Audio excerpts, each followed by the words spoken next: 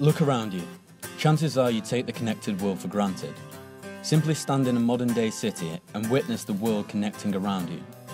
The always on society is required to be always on in our permanently connected world. But how could we help emerging markets to connect? Modern day Africa, where adults crave connectivity and children go to extreme lengths to receive something we take for granted data. Professor Mike Santa has the answer. I invented Blupoint after some school children told me on their way home from school they performed sexual favours for airtime in order to access the internet on their phones and do their homework properly.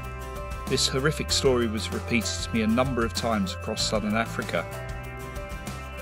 The inspiration for Blupoint was drawn from this to provide free at the point of use access to digital content to people on the phones they already have in their pockets provide access to life changing information and services.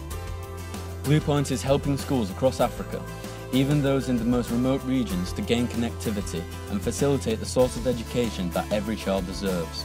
News of the Blupoint travels fast, and as school attendances skyrocket, we are witnessing classrooms in Africa develop into environments where children thrive and learn, much like this familiar classroom in the UK.